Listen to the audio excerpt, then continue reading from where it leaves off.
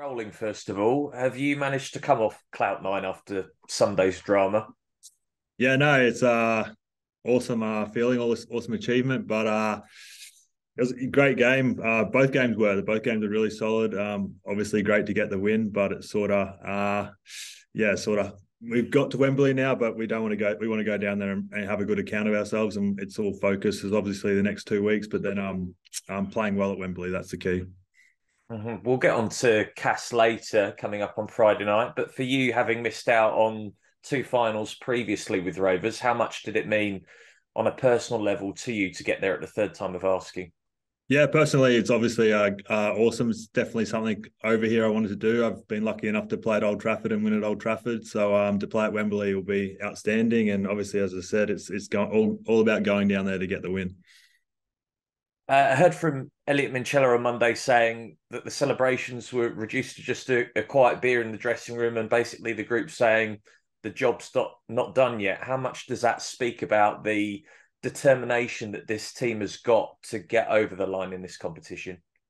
Yeah, for sure. Yeah, definitely. As I said, it was a awesome achievement, awesome game, awesome feeling amongst the group. But uh, yeah, the key is definitely um, performing well over the next two weeks and then uh, playing well at Wembley. We're not going down there. I guess obviously previously the club went down and, and uh, didn't play quite so well, so we're definitely going down there to uh, play well and and yeah, do our best a word that was mentioned quite a lot by some of your teammates post match, Kane Linnett, Sean Kenny-Dowall, was adversity. And I mean, you have to go back to the warm up and Ryan Hall pulling out just beforehand. How how much did again? How much does it speak volumes about this team that you've had to overcome so many obstacles to get to this point in the season? Yeah, uh, obviously Ryan pulling out um, in warm up was definitely not ideal. He's unbelievable. He's playing so well at the moment. He uh, gets our sets going. So uh, it was a big loss. But yeah, as I said, it's, a, it's an awesome group we've got here. Uh, boys just get on with it. We're all like very close knit, and it's sort of like obviously that happened, but that we sort of use it used it to our advantage, I guess, and sort of did it did it for Ryan and made sure that we got the win. How selfless an act was that from Ryan? It sounds like he was the one that made that decision that he wasn't quite right for that game. Yeah, definitely. Um, obviously Ryan's a very unique person. He's an awesome person, but uh, he made the call, and uh, yeah, so it's it's a big call to make. You sort of go into games sometimes, and you feel like you're not 100, percent and you're in the warm up going, "Can I play? Can't I play?" And for him to decide that it wasn't right was a big call, and um, but yeah, hopefully he can he can make it to Wembley.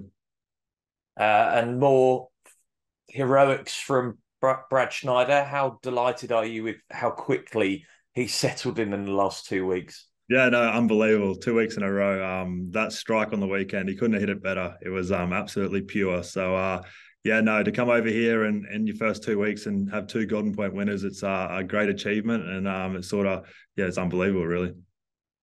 Getting back to Craven Park on Friday night, how much are you looking forward to that, given it it could potentially be quite a celebratory and party like atmosphere following getting to the Challenge Cup final? Yeah, no, it's um True, but I think for us, uh, looking at the Super League, it's from from first to eighth, but especially from third to eighth, it's um it's very tight. So uh, for us, um, it's a big game. We're sort of obviously we we we what happened on the weekend was awesome, but we've got um and it is quite a bit of a weird feeling. Um, personally, like obviously in the semi-finals I've played for, you've gone semi-final and you've all focus turns to the final. So it is kind of a, a bit of a weird feeling going. You got you, have got through the semi, but you've got to wait a couple of weeks. So um, focus today has been all about Cass. It's just um, yeah, we're in a we're in a position now where we can sort of we need these two points as well. We're, it's the next couple of games, the next oh yeah, till the end of the season, it's going to be a really tight finish. So it's a big game for us Friday night as you say, given you've got those two weeks before you get to that Challenge Cup final, what else are you doing individually to try and mentally park it for the time being? Yeah, it's sort of coming today, and we sort of reviewed the game, but after that, it's it's park it, and we gotta we gotta focus on Cass. Obviously, it's a short turnaround for us, so um, they're in a position now where where obviously they're going to be coming here to get the win. They're sort of in a bit of a battle themselves, so it's a, it's a big game for them, and as I said, it's a big game for us with the way the the ladder sits. We sort of if we want to cement ourselves in the top six, we've got to win games like Friday night. What's Willie Peters said to you as well about how he wants you to navigate the next fortnight? Yeah, it's just about, as I said, it's just about sort of reviewing the game today and and and obviously taking all the positives out of it, but it's brushing it for, for the time being and um, really focusing on Cass. And we sort of as I said, it's it's it's quite a big game for us. Um, we sort of, if we want to play, be in the top six and playing finals at the end of the year, we sort of a game we need to win. Given how desperate Cass are as well with their own relegation troubles in Super League, how much will that, in a way, help you to avoid resting on your laurels and any kind of hangover from Sunday? Yeah, for sure. As I said, they're in a they're they're coming here. They need the win. They're going to be desperate for the win. Obviously, they've had the week off, and I guess I assume all their focus has been on about coming here and putting in a good performance and getting that win to sort of cement that, like to for the, for their own personal battles. So, um, yeah, it's going to be a tough game, and it's sort of one we're looking forward to. As you say, given that break, they've managed to get a number of players back from injury, made a, a few signings as well. How much does that change your preparations and change the dynamic of this game? Yeah, it doesn't change it too much. Obviously, they've had a bit of personnel change around, so um, there's obviously obviously a couple of players that won't be playing um, Friday night that we might have thought they would be. So that's obviously changed a little bit. But um, besides that, it's it's we obviously you play we played them early in the year. It's just about sort of focusing on what we can control, especially on short turnarounds. I think you don't have a lot of time to focus on the opposition. It's more about um, making sure our focus is in the right spot and how we want to play and perform on Friday night. I know Andy Last, after the Hull FC game, spoke about how his side are, are lacking in a bit of resiliency at the moment. How do you rattle them, I suppose, at Craven Park? Uh, for us, I guess it's just bring, about bringing a lot of energy. Um, I think we play our best when we're playing fast, energy, a lot of supports. We can sort of you can sort of see when we're when we're on, and I think that's the best way to sort of attack it. I think if we turn up with the right attitude and play fast and play with energy and get behind each other, I think um, that's probably the best way to go about it just finally from me, just uh, just explain to us why a win against Cass on Friday night is so important, just to set yourselves up on the front foot for a, a big couple of weeks after that and a big couple of games. Yeah, I think it's important. It's important on two fronts. I think obviously with the Challenge Cup, it's important to get a. Obviously, we, have had a, a, good win on the weekend, but you want to keep that momentum. You want to keep that confidence going for the next couple of weeks. So it's important on that front, and obviously the league position where we're at, um, with the top six being with the fight for the top six being so tight, um, we need to sort of we need to win the game really. Matt, thanks for your time. No worries. Cheers. Hi, Matt. You okay? Hey, how are you? Not too bad, thank you. I, am just wondering, are you the sort of um, of bloke who looks at the table every week, see how everyone's doing? You hear the coaches say, certainly this time of year, we're not looking at the table, albeit I don't know how truthful that is. Are you the sort that that takes a look at it? Um, I think it depends how it's going. I think like especially at the moment, I think um, everyone will sort of be looking at the table. You sort of look at the movements and who's playing who and and that kind of thing. It's sort of um, when it's so tight, you obviously every week you sort of work out who like obviously you can't control what the opposition what other teams play, but you just sort of keep an eye on it and see where where we're at. But when you get in these kinds of positions, we sort of, we sort of need to win games. You know what I mean? So if you um you sort of you have one eye on it, I guess, but it's sort of focus on yourselves and con- control what you can control. It, it, would be very easy for everyone to have one eye on Wembley and to you know let it let it become a distraction. Is it is it a collective responsibility between you as players to not allow yourselves as individuals and therefore wider as a group to let that happen? Because ultimately you can't afford a couple of poor results in in Super League if you're going to make the top six at the minute. Yeah, exactly. We can't we can't afford it. And as I said, I think um I think obviously it's it's a first for me. We're having a semi final and a bit of a break, but I think it's it's more about um, you want to get the result for your comp, like not for confidence, but just you want to go in there with everyone feeling good, playing well. I think um, over the next two weeks is about us and playing well, and I think so it kind of helps on two fronts. Obviously, we need these two wins for um to keep our spot in the top six, but I think that helps with the confidence going into Wembley. I think if you put in some good performances um, before that, I think you have a lot more confidence and play well down there. And was that was that was that evident with the fact in the semi it came off a good performance against Leeds the week before? I know you, struggled for form a bit before then, but yeah, was that, was that performance really yeah, important? Yeah, we probably had, we had, like obviously prior to the Leeds game, we probably haven't been playing where we want to play. And I think that just one win like that can give the boys a bit of confidence. And you go into the game and you get to a golden point and you feel confident. You feel like, yeah, we've got this. We're going to do this. And it's sort of so it's a bit of a flow on effect. And I think over these next two weeks, you don't want to be going into Wembley on the back of two poor performances and two losses. I think um, So obviously for the Super League we need the win, but then for the, just for the team morale, you just want to keep that going and, and be positive going into Wembley. How how important is it that energy's high on um, you know for, for the game? I mean, ultimately they've had a bit more time off. You've not just had the physical demands of Golden Point, but the emotional ones as well. It, you do often see teams struggle for energy in games like this. How important is it that there is that, and how, how are you making sure that you will have that energy you need to to win the game? Yeah, no, I think um, yeah, that's true. You do see teams sometimes, but I think uh, I think purely just the way the Cass the Cass are going to turn up, they're going to be ready to go, and we know that they're in a they're in a, as I said they're in a bit of a fight themselves. So I think um, that just gets the boys refocused and energized, and you and you, you, we're expecting the best version of Cass to show up really. And I think um, when the best version of Cass shows up, the best way for us to play them is with energy and playing fast and flat fast through the middle. I think um, that's kind of the best way we can. That's probably our best way of going about it. So it sort of works on the two fronts. Brilliant. Thanks, Matt. Cheers. Hi, Matt. It's Martin here from League Express. Hey, how are you?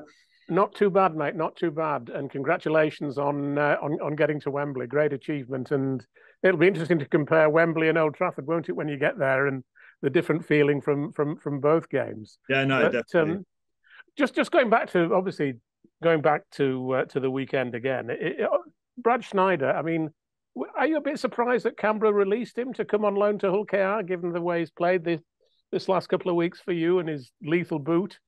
Oh, I, am very grateful they did. I think. Uh, I think uh, it's been uh, yeah, but obviously it's it's I guess coming over here, it's just a bit of a I don't know I don't know personally how it was going to Canberra, but it can be just a, a, bit of a freshen up. You come over here, you just get a bit of confidence, um, play a bit of footy. It's as I said, it's a, it's a good group of boys here. It's an awesome group of boys here, and it's quite easy to fit in. And I think um, he's fit in really well. And um, yeah, just to do it two weeks in a row is uh, pretty pretty special. Yeah, and, and interestingly enough, of course, everybody focused on on the winning field goal but just as crucial for me was that goal kick from touch after Ethan Ryan's try, because that brought you level, didn't it? After about 63 minutes, I think it was. And you know, when you're on the pitch and you're you were six points behind, Ethan goes in, makes it two points behind, and then Brad kicks that goal and it draws you level. That must have been a feeling of that must have inspired confidence in the team as a whole, mustn't it? Because you know, you could have still been two behind if he'd missed it. But when you draw level, you know, you you, you know you're not then panicking to try and get level after that. So how how did that feel at that point? No, definitely 100% right. I think um, that obviously the drop goal was awesome, but the the uh, conversion was yeah, as you said, just as special. I think um, it's a tough kick, and I think that's uh, that's right from the sideline. Was sort of as it's the draw at level. Um, yeah, it was a, it was a big big play as well he seems to have nerves of steel, does Brad, doesn't he? If uh, insofar as you can tell from the sidelines. Yeah, no, that's uh, and that's what you want. You want your half. You sort of you want as a half. You, you want someone who's is not afraid, who wants to step up and and uh, take the shot. I think is there's only you can only miss it if you take it, kind of thing. So it's um it's you really want someone who uh, can step up and has a go. And can I just ask about you? I've spoken to you before about your rugby league family. You've got an incredible pedigree, of course. Um, sadly, your grandfather died two or three years ago, didn't he? Um, which was very sad. But I wonder whether your parents might be coming over to uh, to watch you at Wembley. Have you talked about it with them yet? Yeah, they're actually on a plane at the moment. Uh, but right. well, to be fair, um, obviously, not including COVID, we always planned it so they'd come over for this week. Oh, not this week for Wembley week, and uh, we'd all, with the hope that we'd always make it. And um, been to a few semi-finals and missed, just missed out. So uh, finally uh, it's aligned and yeah, they're on their way over, so they'll be there at Wembley, which is awesome. Well, you put in an extra five percent at the weekend just just for that, did you? Yeah, no, yeah. So it's been um, a couple of times I thought I would go and it hasn't worked out. So this time it's great. Just one thing, when one of the patterns of, of teams getting to Wembley, when when it's you know two or three weeks um, between the semi final and the final, it's often very tempting for a side to relax a bit, and well, not so much relax, but to be a bit cautious nobody wants to get injured before before before Wembley. Of course, that would be incredibly sad for anybody individually. Um, and yet they always say, don't they? If you play trying to avoid injury, it's the best way to get injured. Yeah. So I suppose that's the message, isn't it, for the next couple of weeks? Don't don't pull back. Don't don't try and go for too much self preservation. Just put everything into these next two games, and hopefully they'll take care of themselves. Yeah, hundred percent. I think, um, especially in this sport, there's you just can't control it sometimes. So if you go in there with the back of your with the, at your back of your mind, I think it's probably the yeah, as you said, it's probably the best way to get injured. So you just got to go out there and um, when you're on the field, you just play as you normally play, and whatever happens, happens. But as you said, um, everyone wants to play and not get injured, but it's just nothing you control. You go out there, do your best, and and see what happens. Okay, mate, and good luck uh, on Friday night. Thanks, Matt. Good to speak to you again. Thank you. Cheers. Bye. Hey, Matt, you all right, mate? Hey, yeah, well, Um, yeah, I'm good, thanks. I'm good, thanks. Um, I was just wondering, wonder as well. Um, when you've been in the Super League like before with Leeds, and obviously in your first couple of seasons at KR, you've kind of been like um almost like an 80 minute hooker. How are you finding the split role now with Jez? Because I mean, I remember specifically the Wigan game that you we lost at Golden Point at Craven Park. When you came on, you injected so much sort of pace into the game. Are you kind of growing into that role? Do you prefer it, or would you would you rather be out there for a full 80?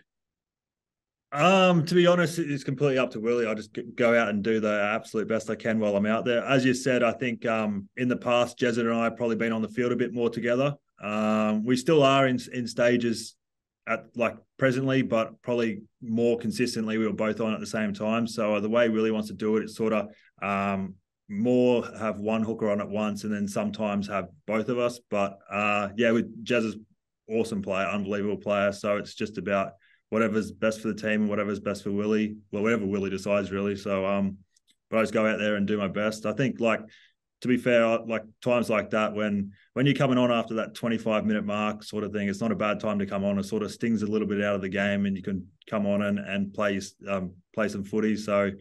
It's whatever way. If I play 80 minutes, I play 80 minutes. If I play 50 minutes, I play 50. It's just go out there and do my best. Yeah, I mean, and you've been around some like brilliant players, but you just alluded to there the fact Jez is brilliant. You've Obviously, got the England call up earlier this season. What sort of, without putting too much pressure on, what sort of projections do you put for his future? Like where, where can he go? Yeah, he's, um, he's, as I said, he's unbelievable. He should um have some very high goals. He's obviously, um, I think he the big focus with that England call up is to become the England number nine. I think in the future, I think um there's probably a bit of a vacant spot at the moment. Over the next few years, it might be a competition between a few of the guys, but uh, he's definitely got. If he continues on the trajectory, he's um, definitely got a good shot at being the England number nine.